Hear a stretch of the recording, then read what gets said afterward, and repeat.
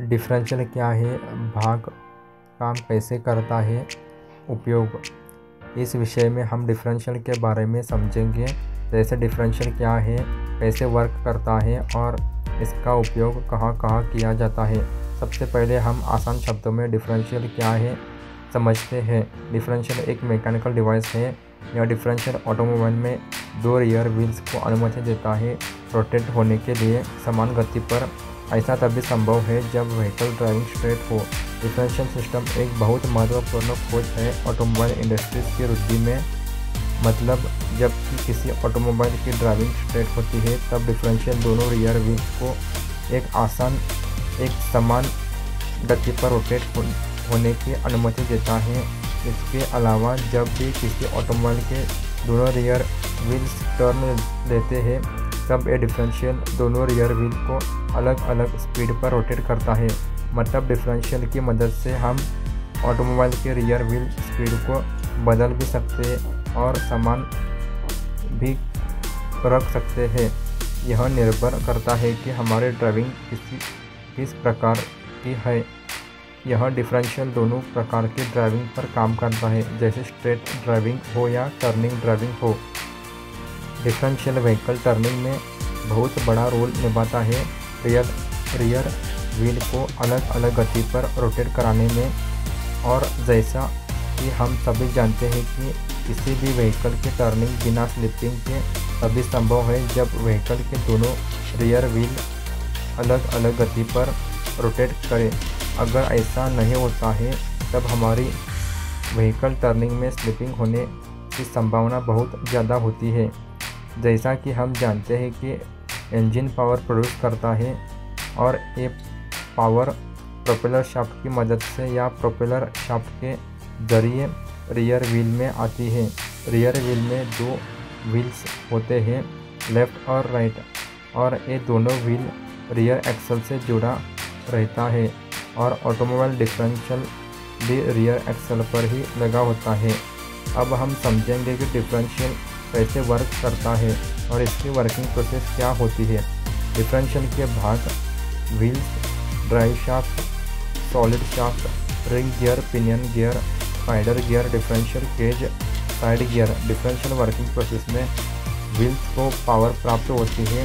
Engine से drive shaft की मदद से और फिर ये पावर व्हील्स को रोटेट कराने में मदद करती है। जबकि व्हील्स पावर प्राप्त करते हैं इंजन से, तब ऑटोमोबाइल में लगे डिफरेंशियल इन व्हील्स को अलग अलग आरपीएम पर टर्न करने में मदद करता है। हमेशा ये देखा गया है कि जब भी व्हीकल टर्न लेता है, उसमें लगे दो रियर व्हील में से एक व्हील ज़्यादा डिस्टेंस ट्रैवल करता है, दूसरे व्हील की तुलना में। इसका मतलब है कि जो व्हील ज़्यादा डिस्टेंस ट्रैवल करता है, वो ज़्यादा स्पीड पर भी घूमता है। दोनों रियर व्हील एक सॉलिड शाफ्ट से जुड़े रहते हैं और जब टर्निंग होती है, तब स्लिपिंग कंडीशन आती है। ऐसे में सॉलिड शाफ्ट पर लगा डिफरेंशियल सिस्टम अपना कार्य करता है। दोनों व्हील को अलग अलग आरपीएम पर रोटेट रोटेट कराने और व्हीकल को स्लिपिंग कंडीशन से बचाता है। टर्निंग के दौरान डिफरेंशियल में गियर कैसे काम करते हैं? इसमें इंजन से पावर को रिंग गियर तक पहुंचाता है। पेनियन गियर के माध्यम से स्पाइडर गियर एक बहुत महत्वपूर्ण रोल निभाता है। डिफरेंशियल में इसमें रिंग गियर स्पाइडर गियर से जुड़ा रहता है और स्पाइडर गियर दो तरह के रोटेशन को निभाता है। स्पाइडर गियर एक रोटेशन रिंग गियर के साथ में करता है और दूसरा अपनी ही एक्सिस पर रोटेट होता है। यह स्पाइडर गियर मेशड होते हैं। दो साइड गियर से ऐसे में जो पावर फ्लो होती है इंजन से वो पिनियन से, दोनों लेफ़्ट और राइट व्हील में पहुंचाती है। डिफरेंशियल के अलग अलग केसेस को समझेंगे। पहला केस जब व्हीकल स्ट्रेट मूव करता है, इस केस में स्पाइडर गियर रिंग गियर के साथ में रोटेट करता है, पर यह स्पाइडर गियर अपनी ही एक्सिस पर रोटेट नहीं करता। इसके बाद यह स्पाइडर गियर धक्का लगाएगा और साइड गियर को मोड़ देगा। इसके बाद यह दोनों गियर स्पाइडर गियर और साइड गियर एक समान स्पीड से टर्न करने लगते हैं। इस केस में स्पाइडर साइड गियर मिलकर एक सॉलिड यूनिट असेंबली तैयार करते हैं और यह एक सिंगल सॉलिड यूनिट की तरह भी मूव करते हैं।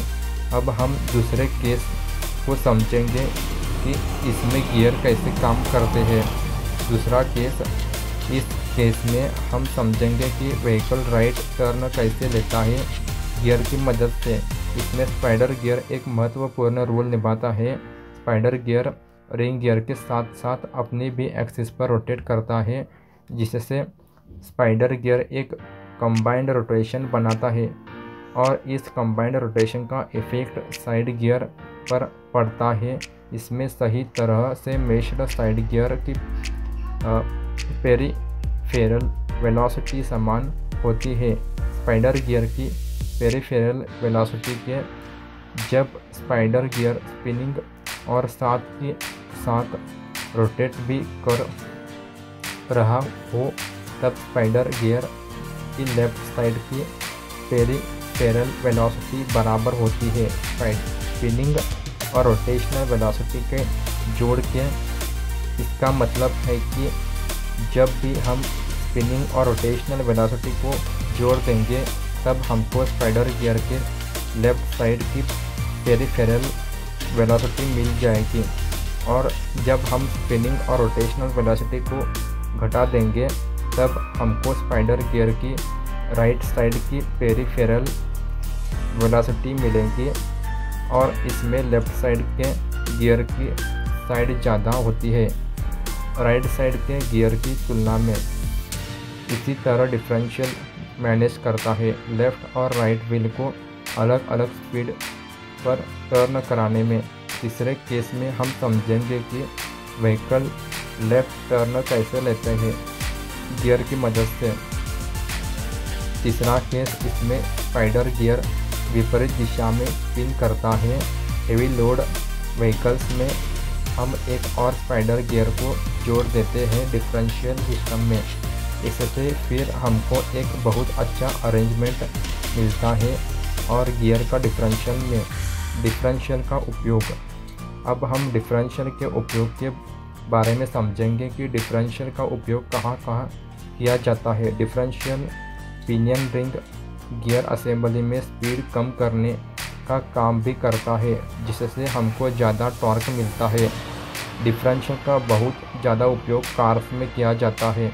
डिफरेंशियल से हमको व्हीकल की अच्छी एफिशिएंसी मिलती है, क्योंकि इस सिस्टम में एनर्जी का लॉस कम होता है।